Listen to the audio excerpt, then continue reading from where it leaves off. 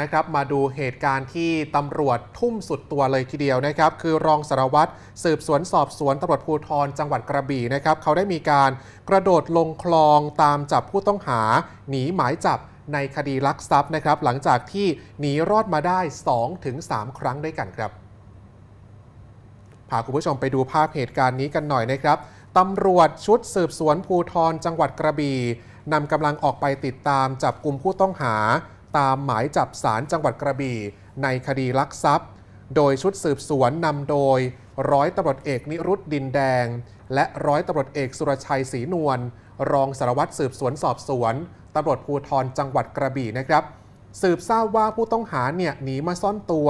อยู่ที่ขนำริมคลองจาก ขนำเป็นภาษาใต้นะครับก็คือกระท่อมค่ะกระท่อมหรือว่ากระต๊อบนั่นเอง ลักษณะก็คือจะประมาณนี้นะครับก็คือหนีมาซ่อนตัวอยู่ที่ขนำริมคลองแห่งนี้ บริเวณหมู่ที่ 3 นะครับตำบลคลองท่อมใต้อำเภอคลองท่อม จึงนำกำลังมาปิดล้อมจับกลุ่มทันทีที่ผู้ต้องหาเห็นตำรวจ ก็วิ่งหนีออกจากขนำนะครับ มุ่งหน้าไปที่คลองดังกล่าว ซึ่งอยู่ไม่ไกลกัน ก่อนที่จะตัดสินใจกระโดดน้ำแล้วก็ว่ายหนีตำรวจไปอีกฝั่ง ซึ่งเป็นป่าโกงกลาง ซึ่งผู้ต้องหาน่าจะมั่นใจว่า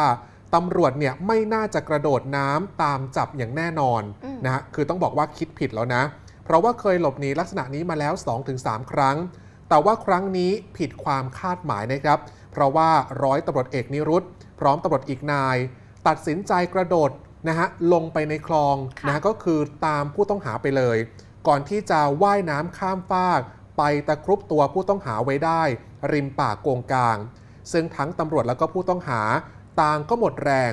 สุดท้ายต้องให้ตำรวจอีกนายพายเรือข้ามฟากมารับกลับไปนะครับเพื่อที่จะขึ้นฝั่ง ซึ่งนะฮะทั้งหมดเนี่ยก็ขึ้นฝั่งได้อย่างปลอดภัยเนี่ยฮะก็ต้องพายเรือไปรับ กลับมาอีกฝั่งหนึ่งใช่ค่ะเพราะว่ามันก็น่าจะระยะทางพอสมควรนะคุณรันค่ะ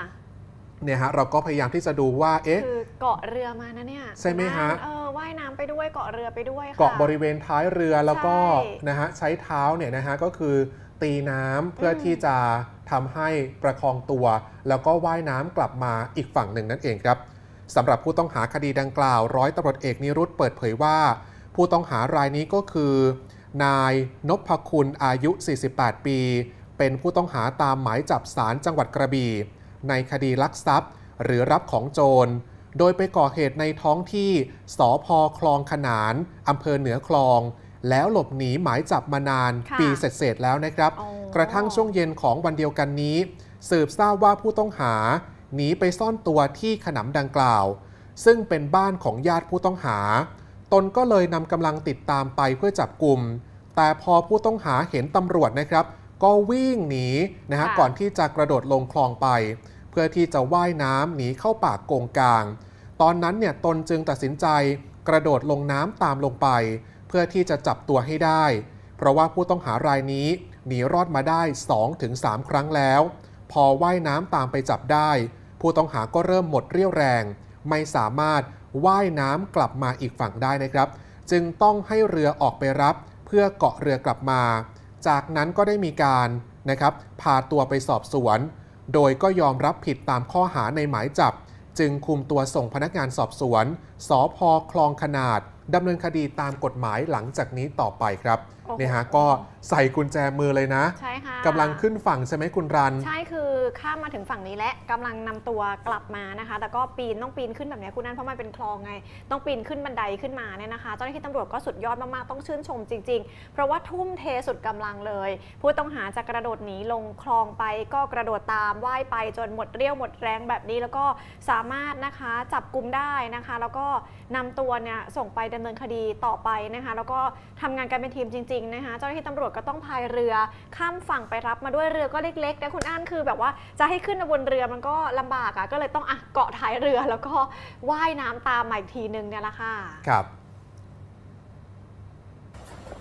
ที่ตำรวจเนี่ยไปติดตามผู้ต้องหาตามหมายจับเนี่ยอาพอเริ่มลงจากรถได้สอบถามถึงที่ตั้งของที่อยู่ของผู้ต้องหา ผู้ต้องหาได้ยินเสียงตำรวจสอบถามก็เลยกระโดดลงน้ำ เนื่องจากว่าพื้นที่ที่ผู้ต้องหาอยู่เนี่ยเป็นริมป่าโกกลาง ซึ่งซึ่งมีอ่าร่องน้ำอยู่อ่าผู้ต้องหานี่คิดว่าอ่าตำรวจจะไม่ตามเมื่อกระโดดน้ำแล้ว จากนั้นก็เขาคาดผิดตำรวจก็กระโดดน้ำตามครับตามตามคลิปเลยครับผก็มก็ว่ายตามไปเลยนะพี่นะใช่ใช่ไปครัตะบครุบได้ตรงปากตรงกลางเลยนะใช่ใช่ครับ ผู้ต้องหาเอ่อครั้งสุดท้ายพอพอไปถึงอีกฝั่งหนึ่งผู้ต้องหาบอกว่าเหนื่อยว่ายกลับไม่ไหวก็ต้องให้เรือ ให้น้องอีกคนอะเอาเอาเรือมาช่วยรับกลับครับครับโอเคครับพี่พี่กับทีมงานทั้งหมดเล้งเหมือนกันครับใช่ครับ แต่ตำรวจเออเออแรงเยอะกว่าเออครับโอเคครับ